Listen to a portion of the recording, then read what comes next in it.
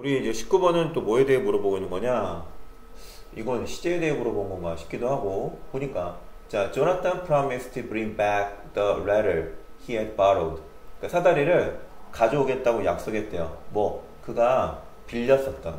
하지만 he never. 하지만 그는 절대 다시 뭐 했다? 그걸 가져오지 않았다. 이런 말이겠네요. 그러니까 약속했는데 가져오지 않았다. 근데 앞의 내용을 그대로 받아오니까 but he never 뭐 bring back the letter.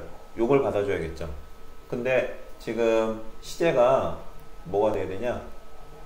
과거가 돼야 되니까 어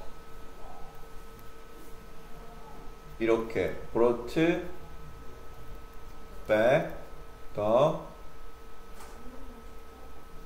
letter가 들어가 있는데 이거 전체를 다 받아주는 거 뭐 있을까? 대동사 did가 있죠. 그래서 답이 A예요. 오케이? 이거 전체를 다 받아주는 겁니다.